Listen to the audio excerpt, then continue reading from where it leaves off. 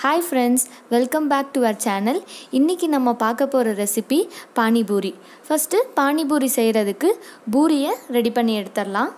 Pan நல்லா heat ஆனதுக்கப்புறமா உங்களுக்கு தேவையான அளவு ஆயில் ஆட் பண்ணிக்கோங்க.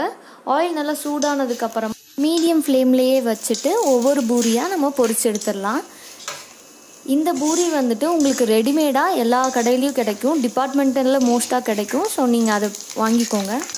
இருக்க பூரியோட பபுள்ஸ் எல்லாம் ஃபுல்லாக கம்ப்ளீட்டாக போனதுக்கப்புறமா அந்த பூரி நல்லா புஷ்ஷுன்னு வந்ததுக்கப்புறமா நீங்கள் வெளியே எடுத்துக்கோங்க. இப்போது பூரி நல்லா பொரிஞ்சிருச்சு. இந்த ஸ்டேஜில் வந்து நம்ம பூரியை எடுத்துடலாம். இந்த மாதிரி ஒவ்வொரு பூரியாக நீங்கள் பொரித்து எடுத்துருங்க நான் உங்களுக்கு ஒரு பூரியை மட்டும் உடைச்சி காட்டுறேன். எவ்வளோ கிறிஸ்பியாக பொரிஞ்சிருக்குன்னு பாருங்கள் இப்போ நம்ம வந்துட்டு பானி ரெடி பண்ணிடலாம். அதுக்கு அரை கப் மல்லி இலை அரை கப் புதினா இலை மூணு பச்சை மிளகாய் ஒரு துண்டு இஞ்சி. லெமன் ஜூஸ் வந்துட்டு ஒரு மூணு டீஸ்பூன் எடுத்துக்கோங்க.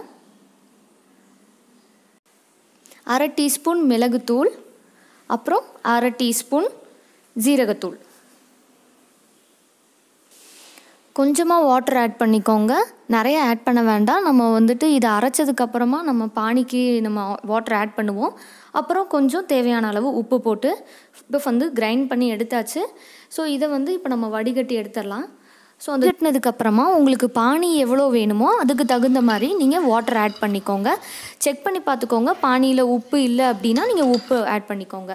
அடுத்து உருளைக்கிழங்கு மசாலா ரெடி பண்ணிடலாம் அதுக்கு மூணு உருளைக்கிழங்கு முன்னாடியே வேக வச்சு எடுத்திருக்கேன். அதோட அரை கப் மல்லி இலை ஒரு டேபிள் ஸ்பூன் காஷ்மீரி மிளகாய் தூள் உங்களுக்கு காரம் அதிகமாக வேணும்னா இன்னொரு டேபிள் ஸ்பூன் ஆட் பண்ணிக்கோங்க. அப்புறம் ஒரு டேபிள் ஸ்பூன் ஜீரகத்தூள். தேவையான அளவு உப்பு. பெரிய வெங்காயம் சின்ன சின்னதாக கட் பண்ணி அதையும் ஆட் பண்ணிவிட்டு ஃபுல்லாக இந்த மசாலா உருளைக்கிழங்கு எல்லாம் மிக்ஸ் பண்ணி ரெடி பண்ணி எடுத்துடலாம். கிறிஸ்பியான பூரி அதுக்கு தேவையான உருளைக்கிழங்கு மசாலா அப்புறமா பானியும் ரெடி ஆயிடுச்சு